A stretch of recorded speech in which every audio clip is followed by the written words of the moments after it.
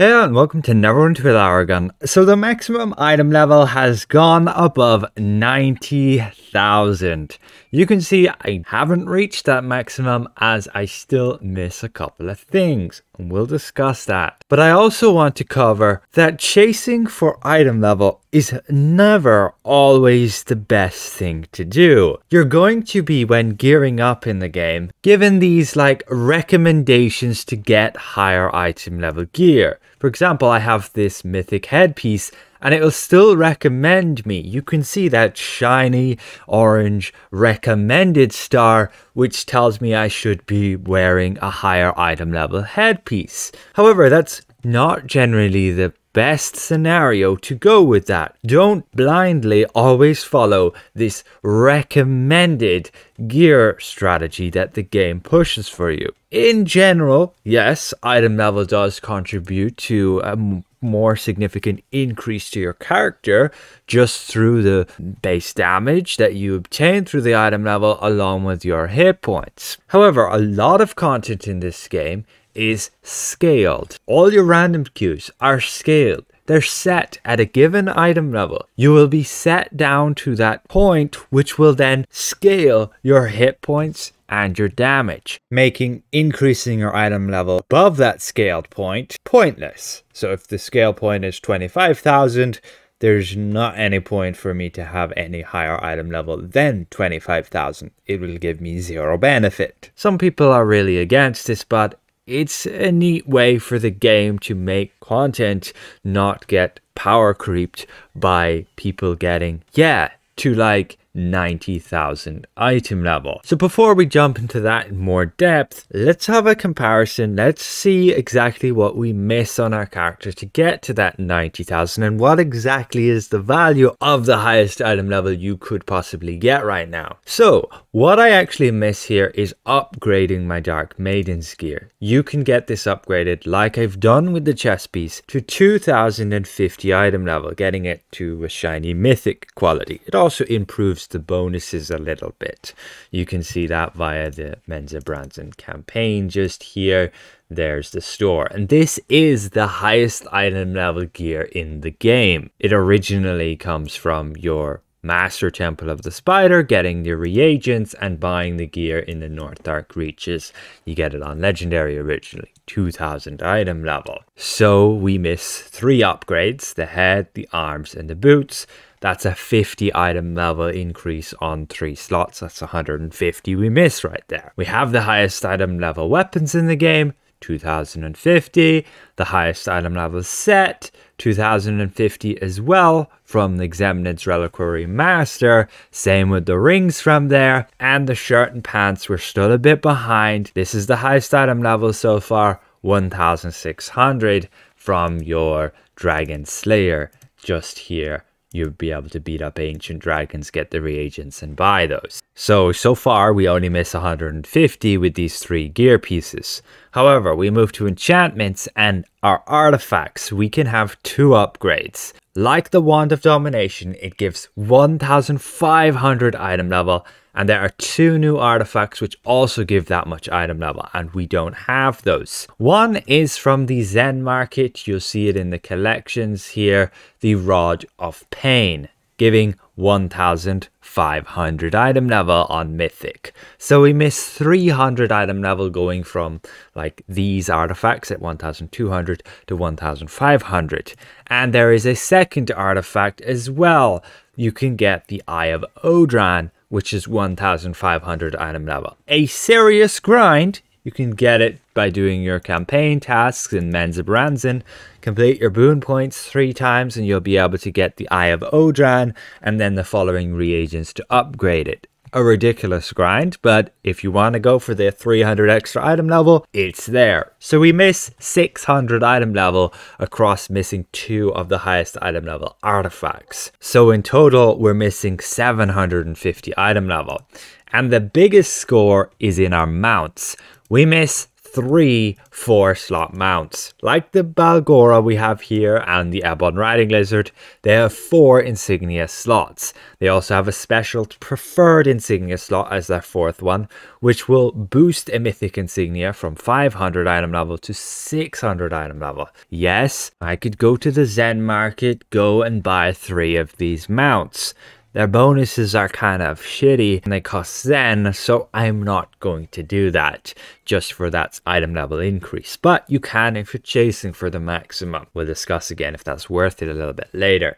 And then there is also the Gilded Goose, which I didn't get on this character, which you could have four slots as well. So I could only just get away with buying only two.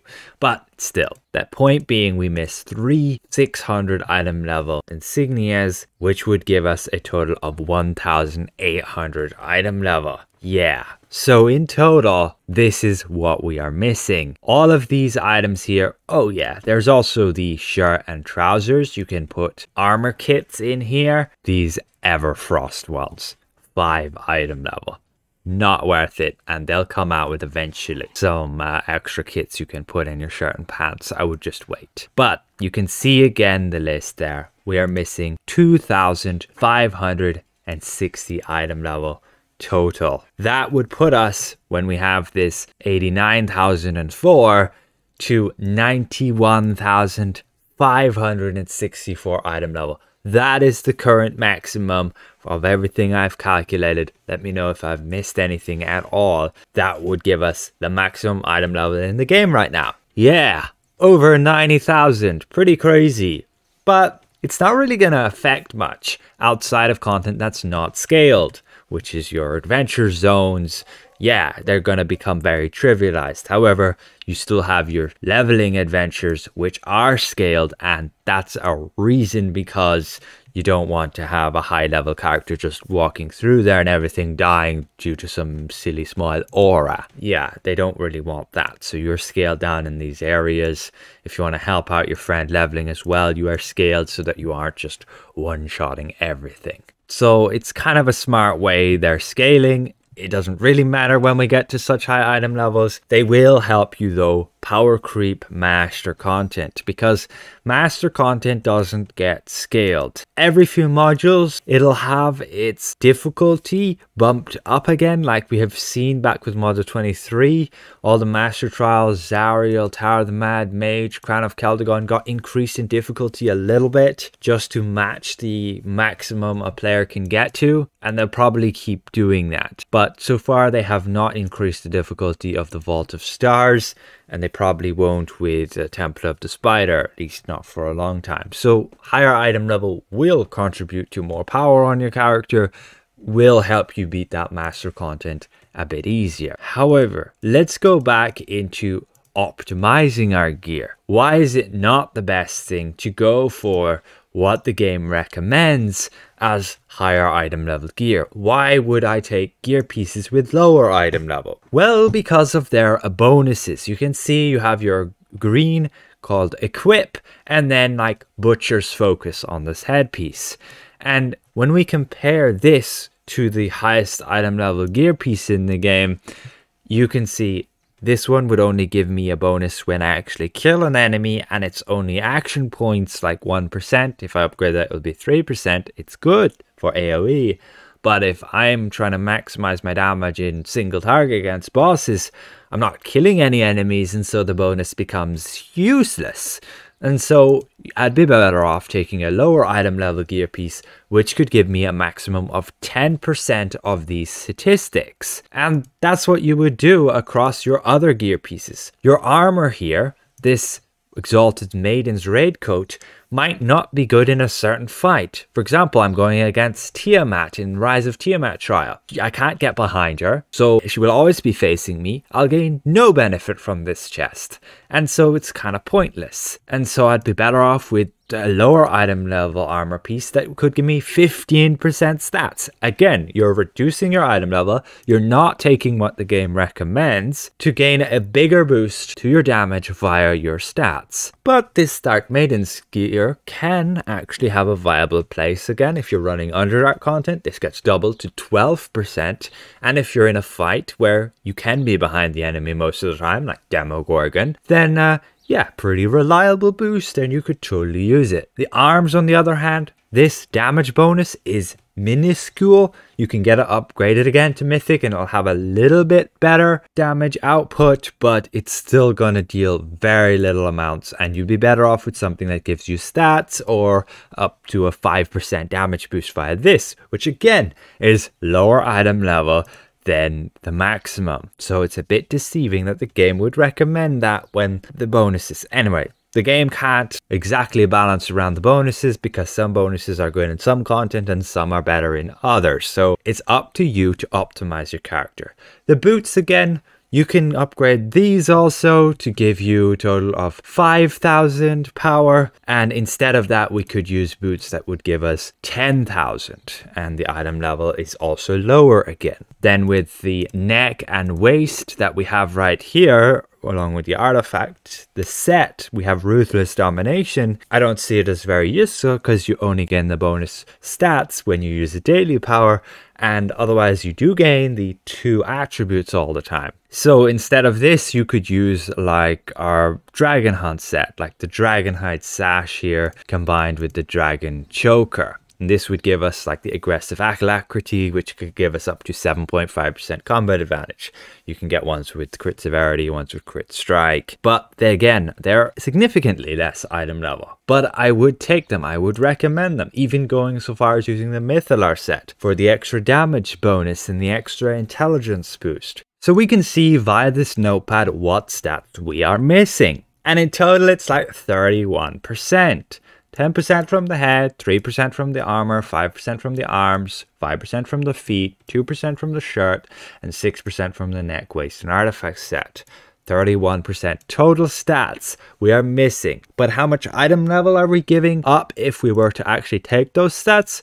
Well, only 2200 via these adjustments, like 200 item level from the head, 450 from the arms, 450 from the neck, and then the waist, and 300 from the shirt. So we're only losing 2200 item level for a 31% total stat gain. Yeah. Have a look at the math on that and you can see it's definitely a lot better to just go for the extra stats. You can see these would be all the stats we'd be missing to actually gain that 2200 boost in item level. This is a big part of the game. Optimizing your character and your stats and focusing on gear which gives you those boosts rather than just mindlessly going for maximum item level you can see that optimized player will deal 9% more damage than you. Just to be aware, have a look at what people use in their builds and it's never really go for maximum item level because it's not the best way to go in this game. I mean, I like that part of this game. It's not all